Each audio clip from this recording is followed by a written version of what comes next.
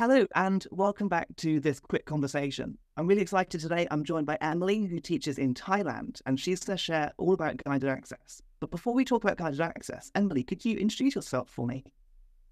Hello, yes, my name's Emily Jones. Um, I'm APPLE Distinguished Educator class of 2023, um, and I work at Harrow International School, Bangkok, in Thailand, with children aged from two up to 10 years of age. Perfect. And Emily and I have a very similar role, and we both teach computing across the whole age range of primary children. So it's quite a, a lovely job to have, isn't it? Yes, very fortunate.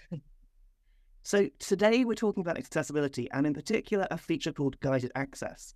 Now, guided access is a tool which changes how the iPad actually works and functions. Could you explain a little bit about how that feature works, please?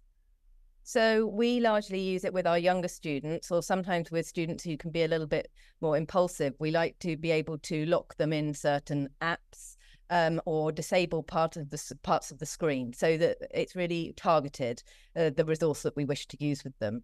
Uh, so, for example, down in early years where um, we have a lot of provision, we may leave the iPads in the different areas of the provision. So, for example, in the phonics area, there may be phonics play app on, but locked within guided access, so children can go and use it when when they're in that area um, we can even put a time limit on so they can only be allowed 20 minutes or so on. Um, but there's various features that we use.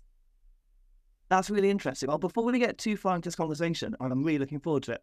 Let's have a quick look at how you watching this can enable guided access on your iPad or your class iPads. To enable guided access, we're going to jump into the Settings app and then scroll down until we find Accessibility. Here at the bottom of this page, under the General section, you're going to tap onto Guided Access. It's a very simple toggle at the top to enable guided access. But before we leave this screen, I'm going to go onto passcode settings and just make sure I've chosen a passcode that I can remember. I'll go 1234 for now, but I'm guessing you might want something a little bit better than that. At this stage, we can open any app on our device, and we can enable guided access simply by pressing the home button or the lock button three times quickly. When you do that, your screen will change to look like this, and now we can fine tune how guided access works. If you want to just restrict users to this particular app, you can simply press start in the top corner and that's it done. You can't press the home button, you can't leave. You're in that app until you choose to end guided access. But on this screen, before you press start, you can also drag a box around parts of the screen that you want to disable, maybe the address bar in Safari, or for me on Showbie, the assignment list on the left hand side. Then, when I press start, I can use the rest of the app as normal, but I can't leave the app and I can't interact with that sidebar. When I want to end guided access later on, all I'm going to do is tap that lock button or the home button three times again, put in my passcode, and then I can press end on this screen. That will return the iPad to normal operating mode, meaning you can jump between different apps and interact with everything you like. Emily, we just heard about how you use this app with your youngest learners and how you can lock them into certain apps. What impact does that have on the classroom environment? How does that help the learners and, and help you as a facilitator?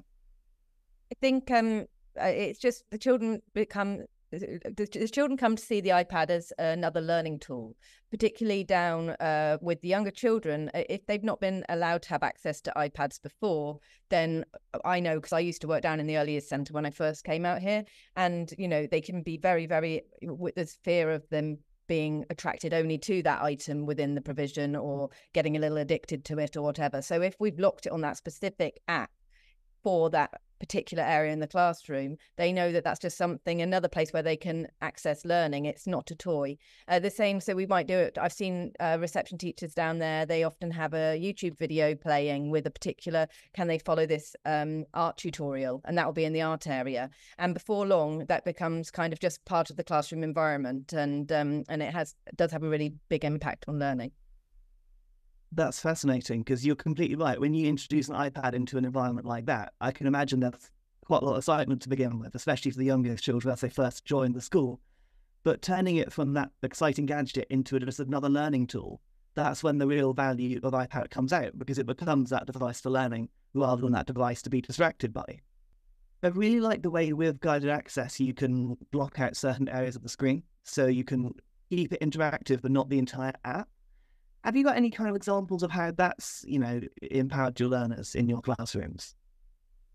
Yes, because before we found it quite difficult again with the younger students um, if they could access um, if you're on the internet, for example. So it's much with guided access, you can lock them in a given app.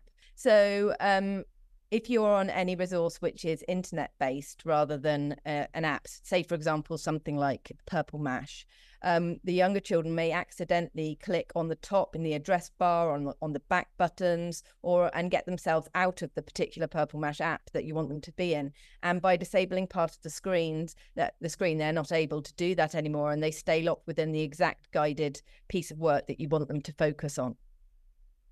So that means by essentially disabling that top toolbar, there's no way they can they can leave that app. They can't press the home button, they can't press the back button. They're going to be using the results that you've directed them towards. That's right. And then there's the other feature I discovered recently that some children either, I don't know if they did it intentionally or not, but they rotated the iPad and the lock rotation wasn't on. And within the guided access settings, you can actually turn off something called motion so they can't do that because otherwise the shaded areas, they change when you rotate the iPad.